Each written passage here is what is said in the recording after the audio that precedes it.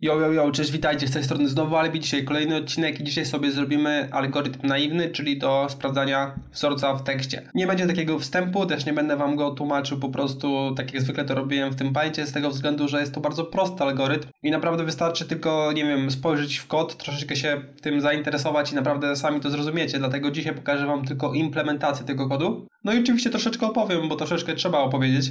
Ale żeby tak bardziej wyjaśniać jeden, to myślę, że nie jest to potrzebne, ponieważ jak jeszcze raz wspomnę, jest to naprawdę bardzo banalny algorytm do sprawdzania wzorca w tekście. Więc jak już jesteśmy w pliku CPP, to musimy sobie oczywiście załączyć potrzebne biblioteki. U mnie te biblioteki to oczywiście IOStream, no i string, potrzebny nam będzie do wprowadzenia tekstu. Oczywiście jeszcze potrzebuję przestrzeni nazw using namespace std i następnie deklaruję sobie nagłówek mojej funkcji algorytm naiwny. Ta funkcja będzie przyjmować tylko dwa stringi, w sensie dwa parametry i to będą to stringi. Pierwszy to będzie oczywiście wzorzec, a drugi to będzie tekst. Czy tam na odwrót, pierwszy tekst, a drugi to wzorzec.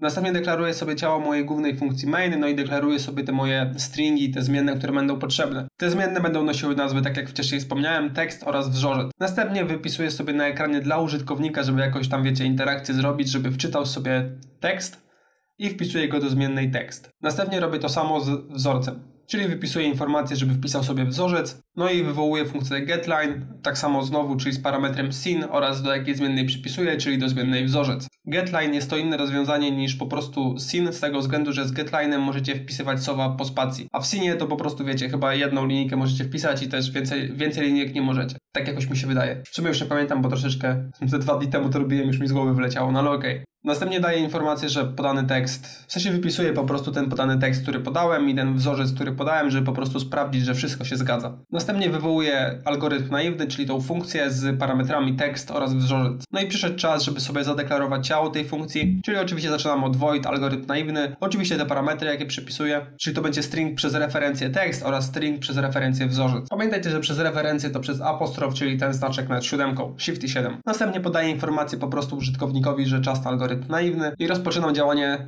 tej, tej pętli, w sumie tego algorytmu. Najpierw deklaruję sobie dwie zmienne, pierwsze to jest i, a drugie to jest j, no i i zawsze będzie równe 0 na początku i generalnie cała ta moja pętla e, będzie działać, dopóki i jest mniejsze e, lub równe od długości tekstu minus długość wzorca. Dlaczego? Ponieważ wzorzec nie może pasować do tekstu, jeżeli będzie po prostu mniej liter w tym tekście już zostało do sprawdzenia, co nie? Tłumacząc to inaczej, jak na przykład macie tekst, załóżmy kod, no i chcecie sprawdzić sobie was, wasz wzorzec wzorzec to jest OT, czyli dwie ostatnie literki tego e, tekstu, no to jak już wasze, wasz wzorzec, to jak już wasz ten indeks i będzie na literce T, czyli będzie na ostatniej literce, to już wiadomo, ten wzorzec nie może istnieć, w sensie nie może być w tym tekście, bo w tym momencie już wam brakuje długości tego wzorca, co nie? Mam nadzieję, że rozumiecie, jest to proste i na pewno, na pewno to zrozumiecie. Oczywiście biorę pod uwagę, że mogę to źle tłumaczyć, ale okej. Okay. Następnie nie deklaruję, tylko przypisuję sobie do mojej zmiennej J wartość 0, ponieważ przy każdej, przy każdej iteracji głównej pętli while będzie, ta,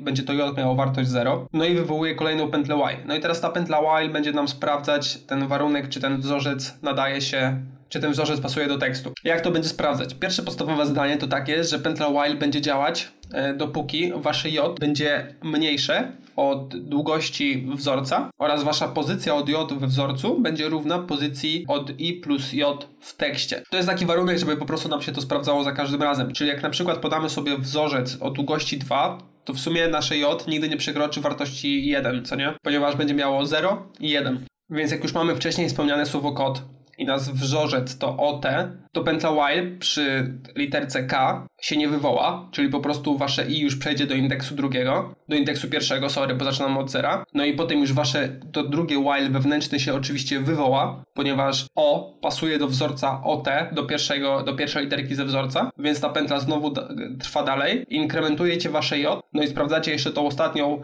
literkę T i oczywiście ona też pasuje, no i wypisujecie na ekranie to, co zaraz napiszemy. Ogólnie, jeżeli to pasuje, jeżeli tak jakby ta wasza pętla while, ta wewnętrzna, przeszła do końca, czyli przeszła do spełnienia, czyli przeszła do tego momentu, aż warunek został e, niespełniony, tak można to powiedzieć, no to to jest oczywiste, że tak jakby was, wasz wzorzec został znaleziony. Więc wtedy wypisujecie na ekranie po prostu wartość, e, na którym indeksie został znaleziony.